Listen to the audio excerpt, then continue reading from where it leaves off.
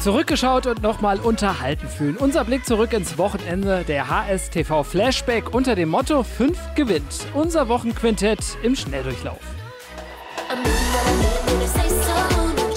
Heiße Bikes, der BRC Semper zelebrierte die 20. Ausgabe des Saisonhighlights, dem großen RTF-Wochenende. Gleichzeitig war das die Hauptstadtsportpremiere.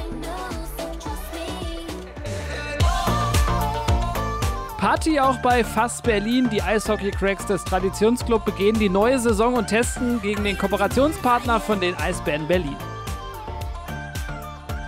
Auf die Freundschaft beim BSV ADB. Da wurde eine lässige Murmel geschoben. Kegeln ist das Stichwort. Gut Holz und ab die Fahrt beim Pokal der Völkerfreundschaft. Von den Routiniers zu den jungen Champs. Beim Kids Cup des LTTC Rot-Weiß zeigten die Tennisasse von morgen ihr Können genau da, wo in zwei Wochen auch der Davis Cup gastiert. Noch mehr Nachwuchs, diesmal von der SG Neukölln und der ergatterte sich beim Heinz-Stachow-Pokal zweimal das Treppchen.